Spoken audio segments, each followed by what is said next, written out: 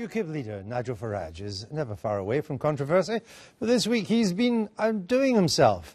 He was hit over the head with a placard by a protester in Kent, provoked outrage by saying women with children are worth less eh, to city firms, and then he said uh, that the ban on owning handguns was, quote, crackers. He also seemed less than sure of his party's own policies when I interviewed him on the Daily Politics. And the story that got everyone talking was the suggestion by a UKIP councillor that flooding is linked to gay marriage. We'll talk about all of that in a moment, but first, over to Nigel with the weather. Thanks, Andrew. And now the weather for all areas of the British Isles, but definitely not Bongo Bongo land.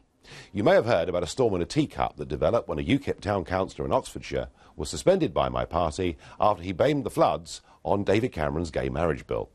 The old parties are seeking to cloud the big political issues of the day by focusing on the view of UKIP members like him, even though he'd said a deluge of similar things before when he was a Tory councillor.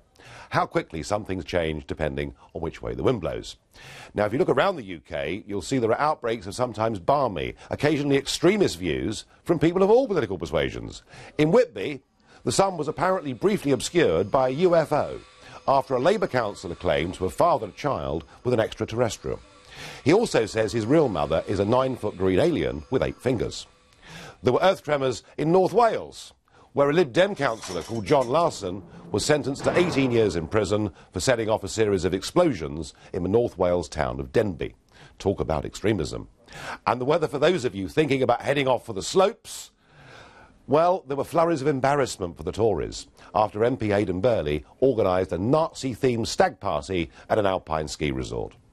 Anyone thinking of heading off on holiday to Brussels this week, perhaps getting there on the gravy train, watch out for a warm front of relentless hot air. Back in Britain, and the long range forecast, and we can see temperatures rising ahead of the European elections in May. It could get stormy, so I advise you to avoid light aircraft. We hope there'll be a sprinkling of real ale on lower lying areas, outbreaks of common sense, and absolutely no chance of cyclonic fruitcakes. Back to you, Andrew, with the rest of the Sunday politics. The weather, according to Nigel Farage.